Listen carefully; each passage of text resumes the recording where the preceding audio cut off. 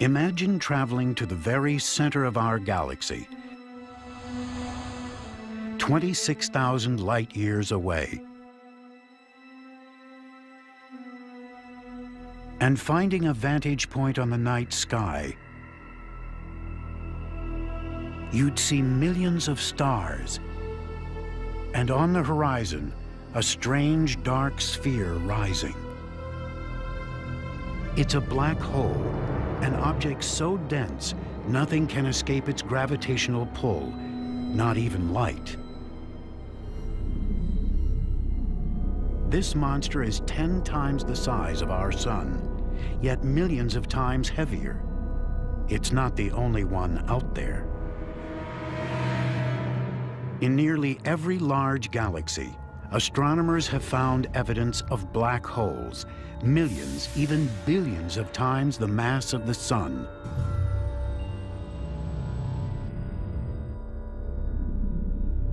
How did they form?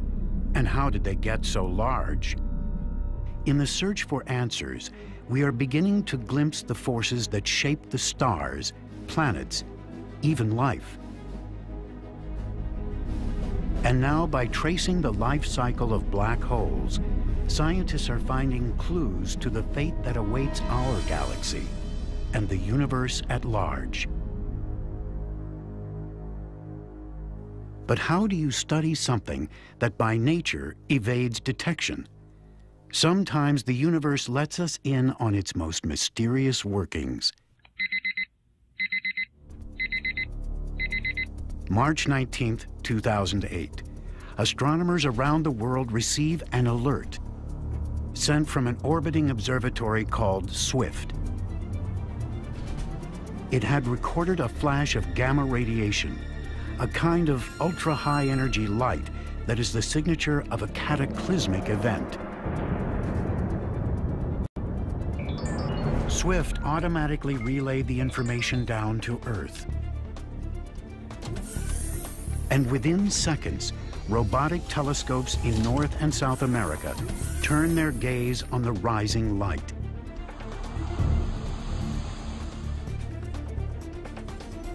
Astronomers dial into the data to see how bright and powerful the flash had become.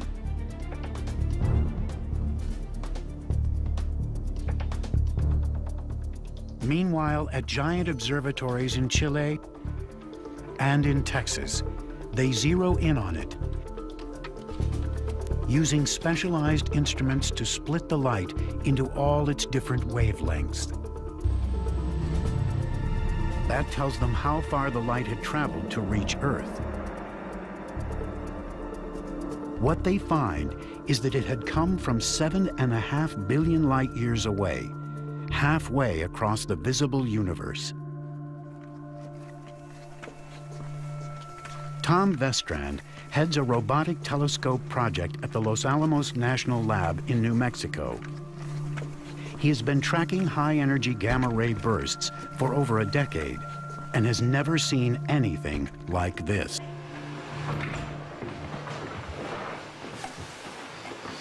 Okay, let's see what we have. It was the most luminous thing ever detected by mankind. Traditionally think of astronomy as something that happens very slowly. But this was a thing that had been traveling to us for 7.5 billion years, arrived here, and for 30 seconds it was astonishingly bright.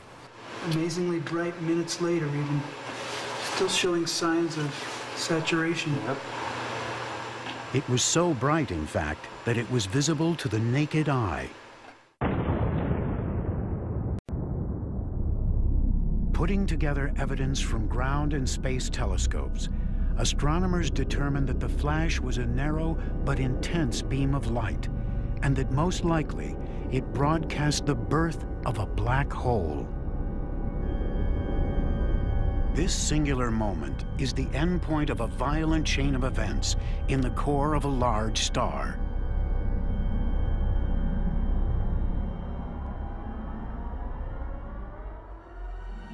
All stars shine by burning light elements like hydrogen.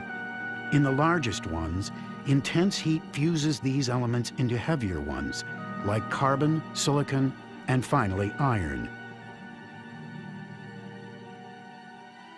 Like hot air in a balloon, heat and light from these nuclear fires creates an outward pressure that prevents the star's massive outer layers from collapsing inward. Eventually that fuel runs out, the energy flows out through the star off into space. It can't go on forever. When the fuel runs out, the star starts to shrink. And when that iron core builds up to about 1.4 times the mass of the Sun, it can no longer hold itself up against the pressure and it will collapse. In some cases, as matter slams into the star's core, the impact creates a powerful shock wave that races back out and literally blows the star apart.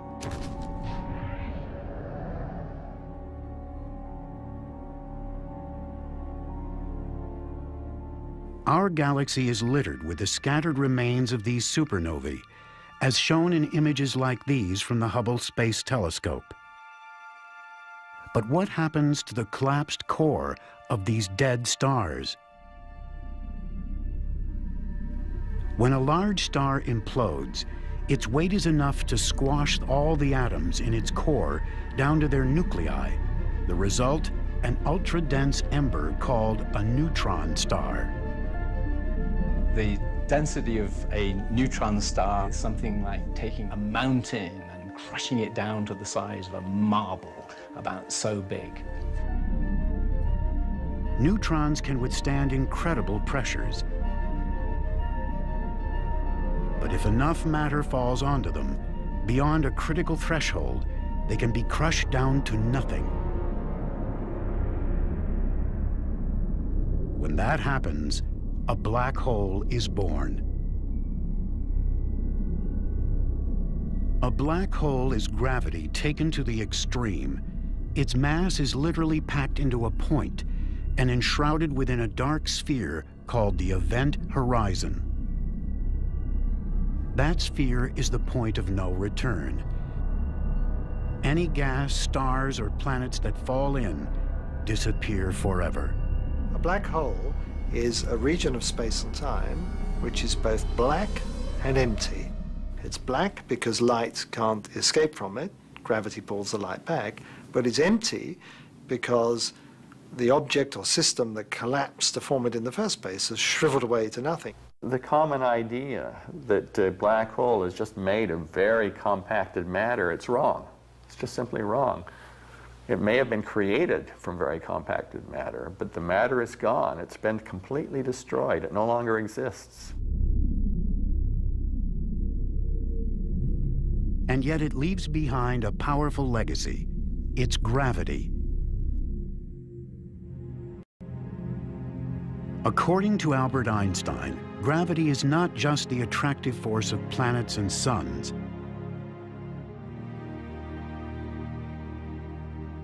It's a warping of space and time, what scientists call space-time, in the presence of massive objects.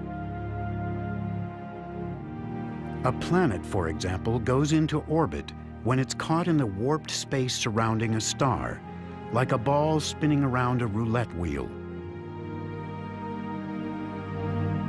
With the mass of a star squashed down to a point, a black hole is a deep puncture in space-time, when a black hole is born, the energy gets transformed from the energy of the matter to the energy of warped space-time. So it's a transformation of the form of the energy from one to another, but the energy is still conserved. What you're left behind with is warped space-time that has a huge amount of energy in it. With that energy, a black hole can affect its environment in profound ways.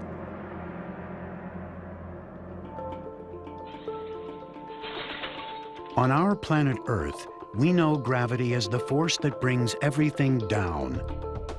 The impact releases energy, a crash.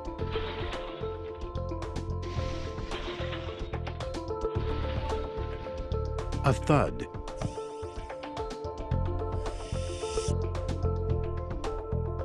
A shatter.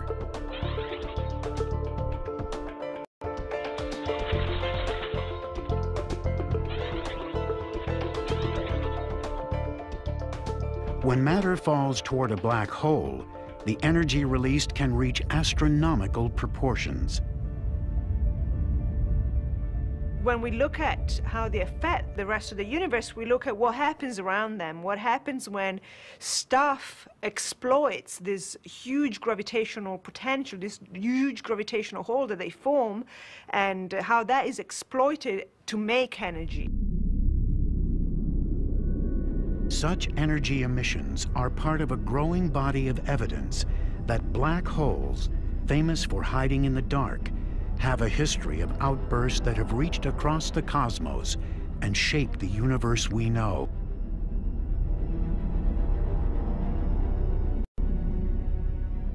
Scientists are following this energy like a trail of clues, leading ever closer to the black hole's dark heart.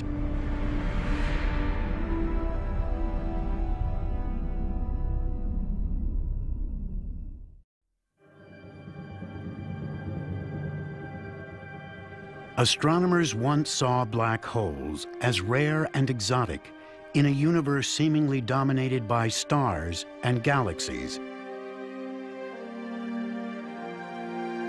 A radically new view has emerged from surveys of galaxies and black holes stretching deep into the universe.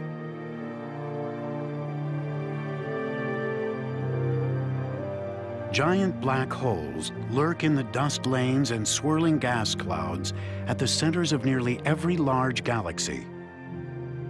What's more, the larger the galaxy, the larger the black hole.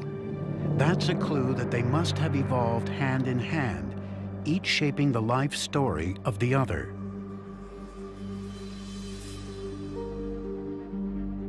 To find out the role black holes played in the evolution of the universe, astronomers are trying to recreate this shared history with what amounts to a whole new branch of science.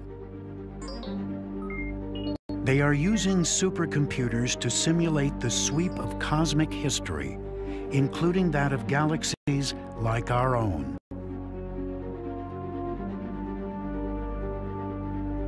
This simulation takes us back to just a few hundred million years after the beginning of the universe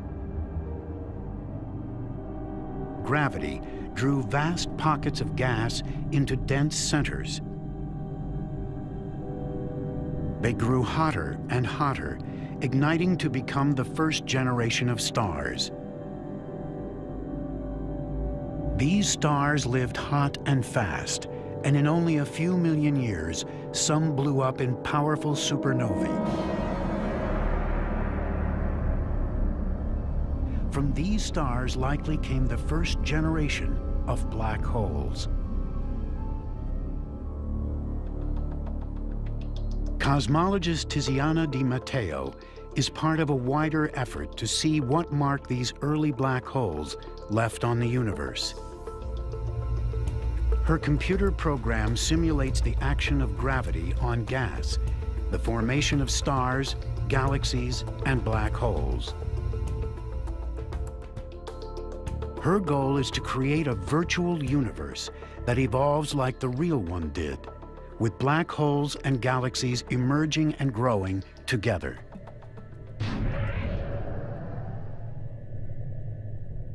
Our Milky Way galaxy is located in a quiet part of the universe, with relatively few other galaxies around it. Move out across the cosmic void, 50 million light years away, and you encounter the Great Virgo Cluster, filled with thousands of galaxies. Recent telescope surveys show that this region is part of a larger pattern of galaxies resembling a vast spider's web. To get her virtual universe to look like this, Tiziana needs to know what cosmic conditions gave rise to black holes and galaxies in the first place. So it's a beautiful problem because we start from extremely well-specified initial conditions. We know the initial condition of the universe, and that's very rare in astrophysics, in cosmology, in, uh, you know, in any branch of physics. Kick the bait. Check out the low end on this thing. Somebody call a doctor, because I got a bad case of buggy fever. I got My paws in the air and I don't care. Introducing the HTC Harman Kardon Edition with revolutionary Clari-Fi sound. Now with six months free Spotify premium streaming music when you sign up for a Sprint family plan. Details of what the universe was like in its earliest times have come courtesy of a breakthrough observatory called WMAP. It found a blotchy pattern in a kind of radiation generated soon after the Big Bang. Astronomers believe this pattern is the origin of the spider's web structure they see in their telescopes. It defines the beginning point of Tiziana's simulation. She sets her virtual universe in motion. It covers a region in the shape of a cube over a hundred million light years on a side. The result, an intricate cosmic web with gravity drawing matter into filaments and knots on the largest of scales. In places where filaments come together, galaxies and black holes first begin to appear all the matter that is coming in from the large scale will also allow the black hole to, to grow um, because of these gases being transported from large scale all the way into the galaxy and the galaxy all the way into the center and therefore feeding and growing these central black holes at a very high rate. In this sequence drawn from her simulation, the circles indicate the appearance of black holes within the data. What she finds is that as these black holes gain mass, gravity pulls them toward the densest regions, where a few grow larger than all the rest. How did these chosen few black holes grow so rapidly? The orbiting Chandra X-ray Observatory recently turned up evidence at the centers of galaxies back in the time of the early universe. These images show its remarkable find, actual supermassive black hole pairs beginning what astronomers believe is a dance of death.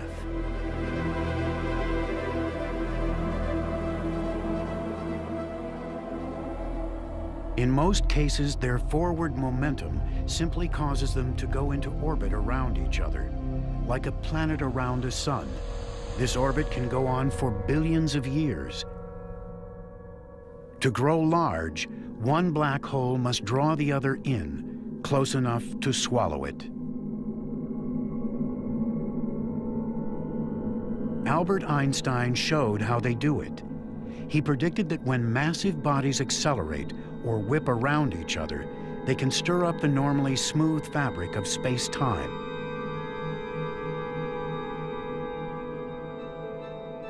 It's like a rock hitting a pond. Some of the energy of the impact is transferred to waves that move outward along the surface. Likewise, a titanic collision of black holes would send waves, gravity waves, racing across the universe. So you have two tornadoes embedded in a third larger tornado, and they're going to come crashing together, and you want to know what happens when these tornadoes are not made from whirling air, but made from whirling warped space and time. This simulation shows what happens. As two black holes get close, they turn space into a turbulent sea of gravity waves. These waves have the effect of carrying energy away from the orbit itself. That allows the pair to draw each other in and merge into one. We go back to half of the age of the universe, and all of these black holes are swallowing large amounts of gas. So it's a fun time. It's sort of the golden age for the growth of most black holes. The reason why is because most of the large major mergers are occurring in the universe around this time. This simulation shows how a galaxy like our own might have taken shape in a flurry of mergers and collisions.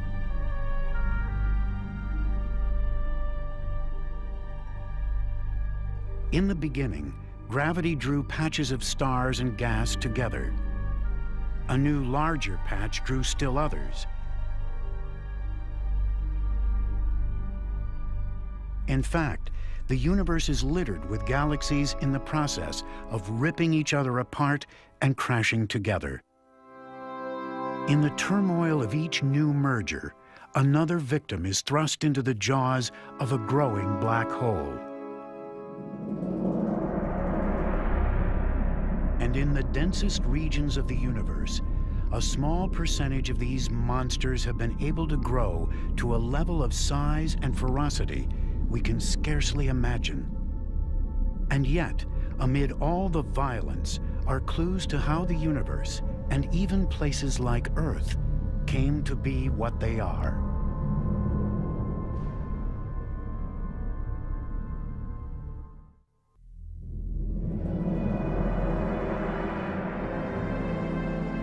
Astronomers have long puzzled over a class of ultra-bright beacons of light from the distant universe called quasars.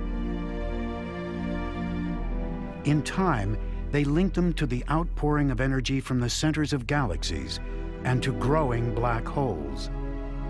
But how can something that emits no light shine so brightly? Two minutes. The chance to solve this mystery has drawn a crowd near NASA's Kennedy Space Center in Florida. 80 seconds. Rangers go. 45 seconds. Mounted in the nose of a rocket just up the beach is the next generation cosmic explorer. 10, 9, 8, 7, 6, 5, 4, 3, 2, 1, go. Zero. Liftoff. The Delta rocket carrying in GLAST. Gamma ray telescope searching. The Fermi Gamma Ray Space Telescope is part of a larger effort to explore the role black holes play in shaping the universe.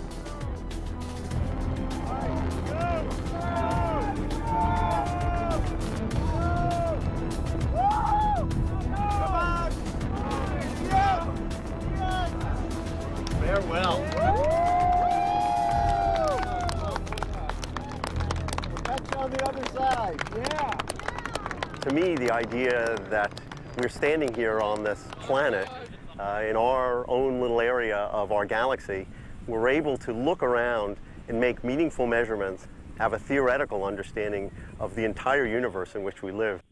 To me is something that all of humankind can justifiably uh, take pride in.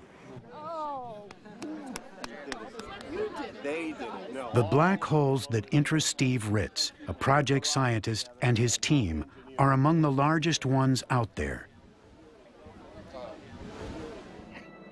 The energy they emit is thought to stem from periods of rapid growth at the center of galactic feeding frenzies. Billions of years ago, in places where the universe was dense with matter, gravity drew swarms of young galaxies hurtling toward each other. A large galaxy grew in the center, and when another galaxy fell toward it, it hurled matter at a central black hole. Force-fed like this, the black hole could grow up to several billion times the size of our own sun. Probing the Perseus Galaxy cluster, the Chandra X-ray Observatory found immense hot cavities hollowed out of the surrounding gas. The culprit, they believe, is a jet of radiation coming from a large central galaxy. As it roared out, this jet created shock waves so powerful it pushed huge volumes of gas beyond the central region. And without this gas, new stars can't form. That explains why some of the largest galaxies are filled with old stars, most likely born before their black holes began erupting. At the same time, a black hole jet can seed the surrounding regions with the heavy elements needed to form solar systems and planets like ours. The black hole also has the property that as it spins on its axis as the Earth spins, It drags space into a whirling motion like the air in a tornado, faster near the horizon, slower farther away, just as the air in a tornado is whirling faster near the core than it is farther away. In the eye of this cosmic tornado, gas and stars flow into the hole along a rapidly spinning disk.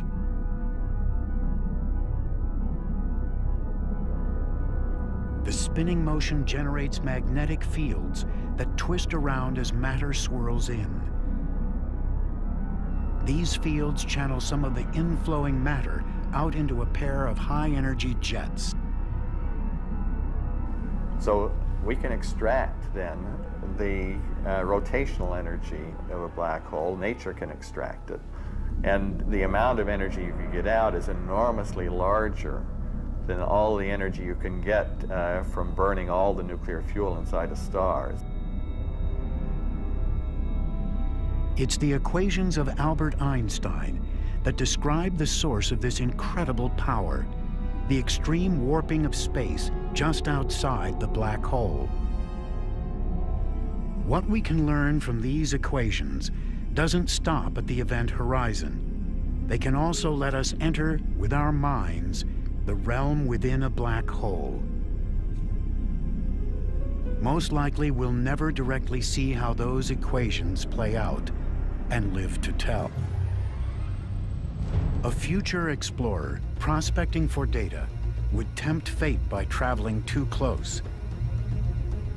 If the monster is a collapsed star, weighing a few times the mass of the sun, its gravity rises sharply. The pull on the starship's nose is so much greater than on its tail that gravity rips it to shreds.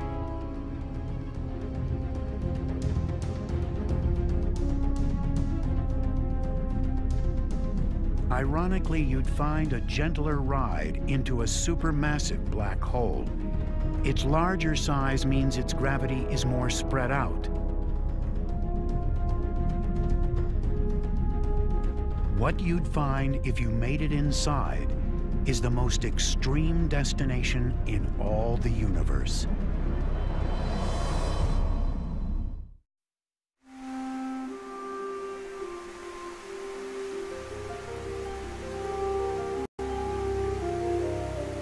Andrew Hamilton, an astrophysics professor, has been investigating what happens when matter falls inside a black hole.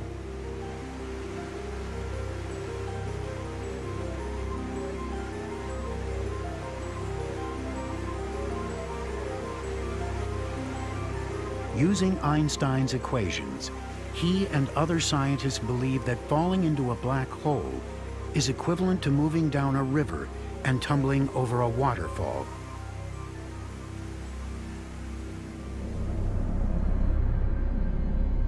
Like a cosmic precipice, the outermost region of the black hole, the event horizon, is where space itself flows relentlessly in.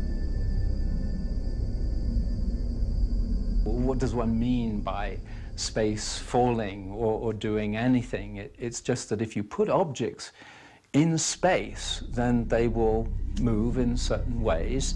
And if you put objects near a black hole, as they approach the horizon, inevitably they must approach the speed of light in order to stay at rest. Otherwise, they're going to fall inside the horizon.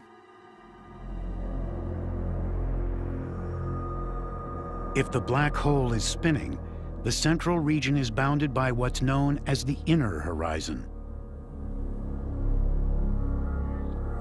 In a case defined only by Einstein's equations, an object may whip around so fast it gets flung outward. If there's nothing inside the black hole except the space-time structure itself, there's nothing inconsistent about having space fall inside, turn back around and come back out again because space has no substance, so there's no problem with it moving through itself. It would be like a river racing over the falls, hitting the rocks below, then flowing back up.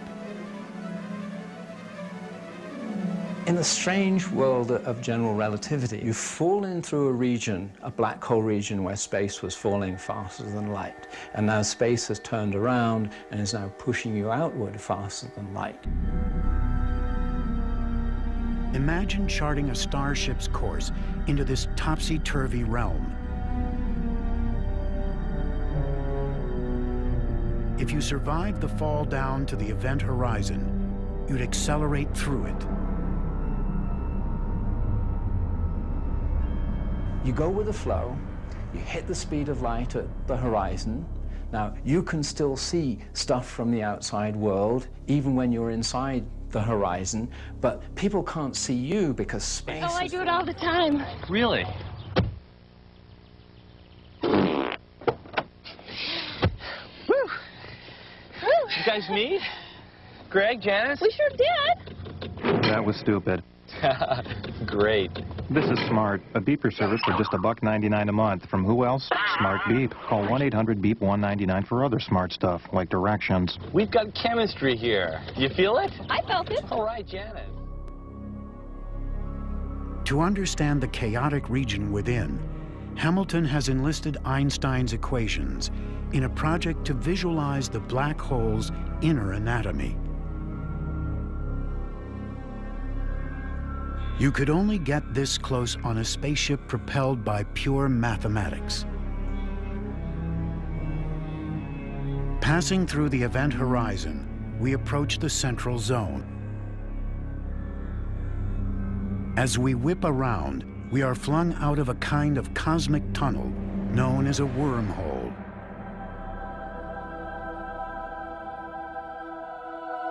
At its end, we pass through what's known as a white hole. Like characters in a science fiction story, we exit into another time or place, perhaps another universe. This strange passage is the work of theory. In reality, it couldn't form amid all the turbulence. The moment you introduce any real matter, then the stuff that's trying to fall in tends to collide with the stuff that's coming back out again. There's a turbulent, chaotic maelstrom deep down inside the black hole. In a waterfall, this collision zone is where water crashes on the rocks and ricochets into the downward flow. Here, turbulence rises all order disappears. In a black hole, the collision zone is the inner horizon, where swirling matter envelops the central core.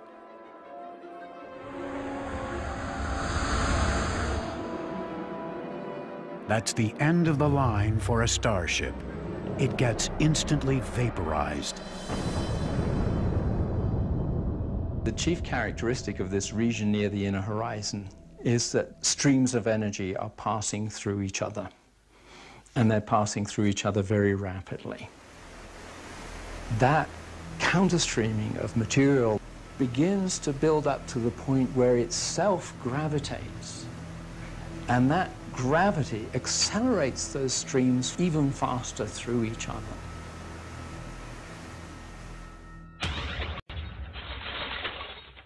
In the gentle world we know, the energy released by gravity quickly dissipates.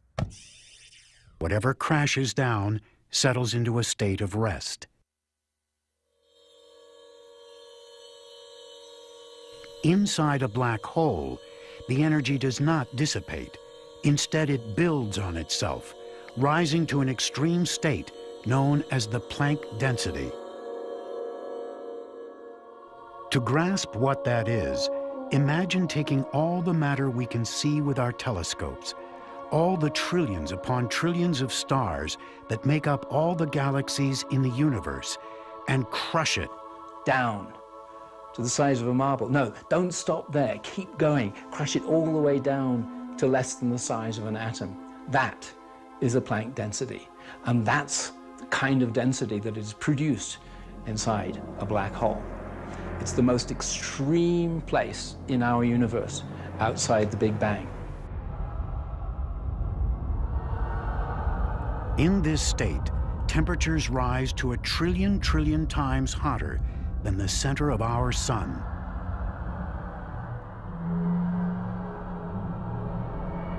It would be hard to imagine what destructive impact the release of this energy would have. Fortunately, extreme gravity holds it tight within the black hole's event horizon. As astronomers project the continued evolution of our galaxy, they ask, will the matter and energy impounded within its central black hole remain there forever? Or is the black hole, like all other cosmic bodies, somehow subject to the ravages of time?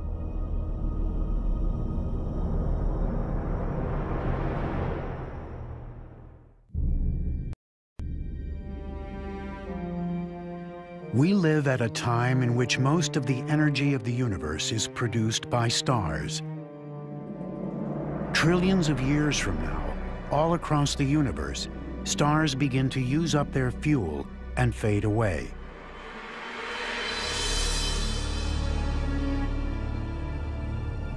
The largest stars fall toward the centers of galaxies, where they're swallowed by supermassive black holes.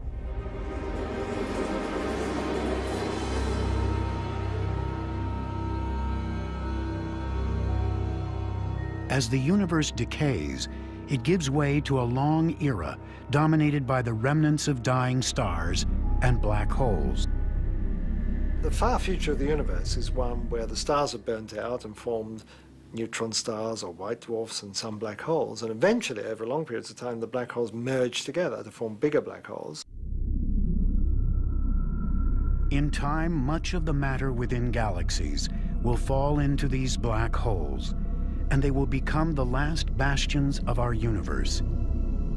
How long will they last? The answer may come from a theory proposed by the cosmologist Stephen Hawking. Stephen Hawking applied quantum physics to black holes and predicted that they wouldn't be black but would glow with heat radiation in a very distinctive way. And of course, uh, if there's heat uh, coming off, heat energy coming off, this energy has to come from somewhere. The energy, Hawking said, would come from tiny particles emerging from the vacuum of space just outside the event horizon.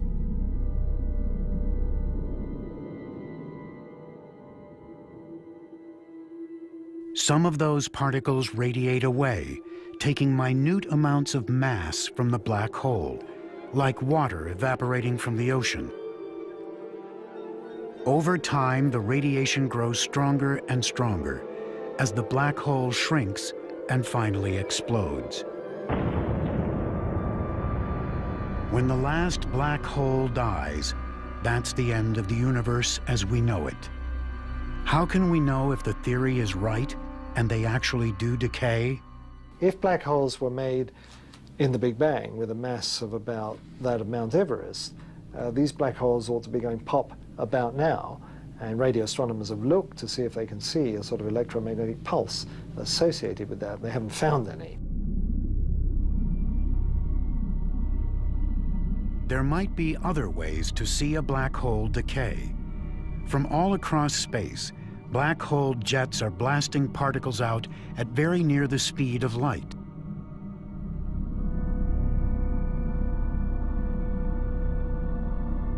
These particles, called cosmic rays, slam into our Earth's atmosphere with enough energy to create miniature black holes. These mini monsters would decay immediately in a shower of particles, but they are very difficult to observe.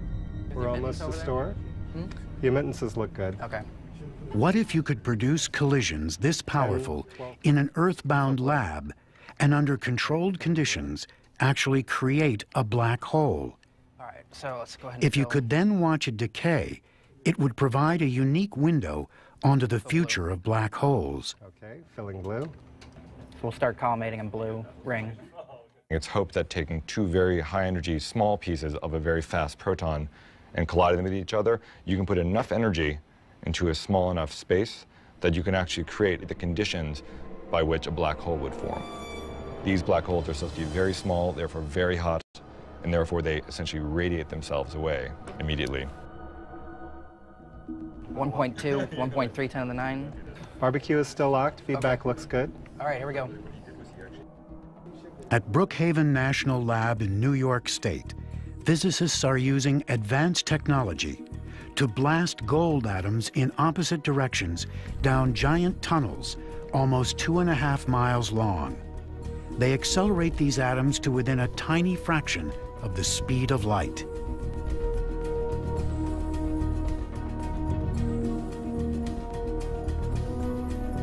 When the atoms collide, a fireball erupts. Sophisticated sensors record a splatter of subatomic particles, a hot soup of gluons and quarks. What we believe we're creating is a temperatures approaching 2 trillion degrees centigrade. That's 100,000 times hotter than the interior of the sun. It's hotter than a supernova explosion. It's hotter than the surface of a black hole. It's hotter than a neutron star. In fact, we believe nowhere in the universe is at that temperature. It was last that temperature in the universe one microsecond, one millionth of a second after the Big Bang. It's as if they are running the universe in reverse, taking us back to an instant when it was extremely hot and dense. Creating a black hole, it seems, will take even more energy than that. In fact, more than any Earthbound collider can pack.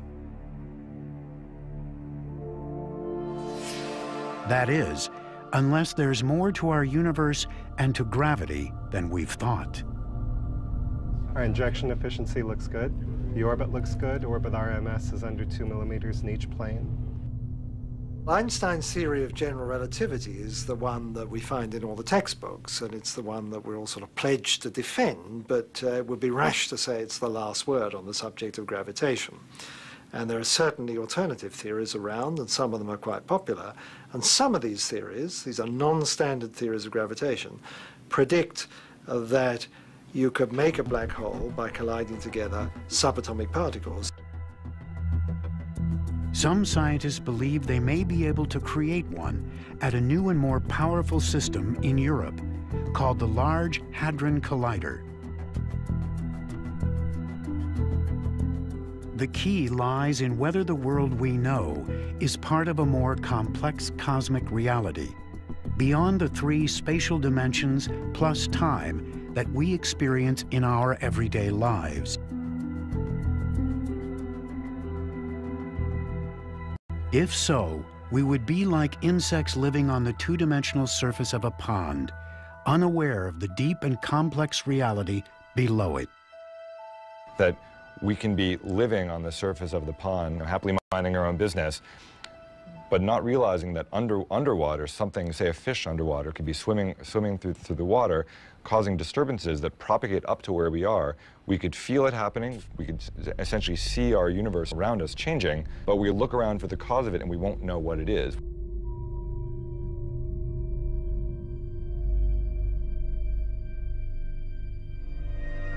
The idea is that a number of extra dimensions actually intersect our world. 10, 12 pi. Okay.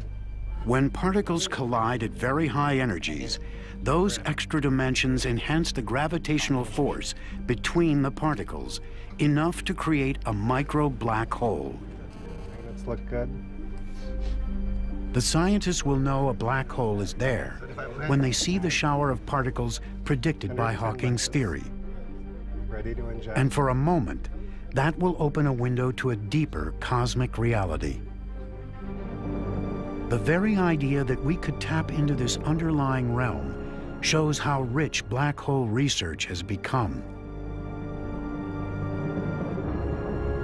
Einstein's theory showed how black holes can generate extreme energies, cause the universe to wobble and bend, and twist up into knots.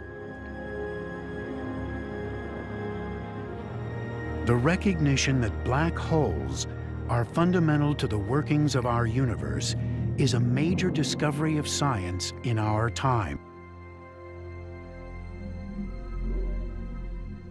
And if it turns out that they do have a finite lifetime, their death will signal the end of our universe. By some estimates, the time horizon of the largest black holes goes out to a googol years. Take a 1 and add 100 zeros to it. That's an unfathomable spread of time, but it's far short of forever. The clock may well be ticking on our universe. The alarm will sound when the last black hole explodes.